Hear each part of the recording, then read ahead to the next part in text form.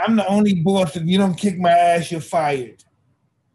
So that's how the sparring's going. Everyone's doing their best, and if you're not doing your best to hit me, you have to go home. That's what sparring is. That's what fighting is all about. If I'm paying the guy to kick my ass, if he doesn't kick my ass, he has to go. He's fired.